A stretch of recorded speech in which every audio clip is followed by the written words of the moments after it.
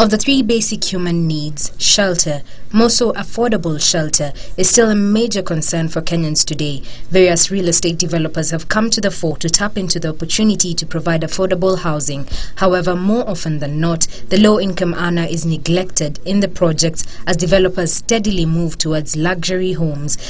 Housing Finance Managing Director Frank Ireri now says that the county structure will open up the property sector as they will create an opportunity for development. Ireri was speaking during the announcement of the company's half-year results where the company registered profit before tax of 574 million shillings during the first half of 2013 up from 357 million shillings recorded for the first half of 2012. The performance was attributed to the stability associated with the change change of land laws relating to the recovery process as well as impact of high interest rates that prevailed during 2011-2012.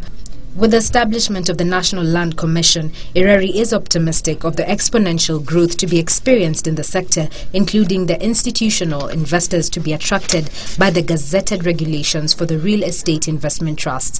The mortgage financier's net non-performing loan book increased to 2.3 billion shillings, up from 1.02 billion shillings in 2012. The firm will issue an interim dividend of 0.75, up from 0.70 shillings shillings given in 2012. Daisy Oloo for Business Defined.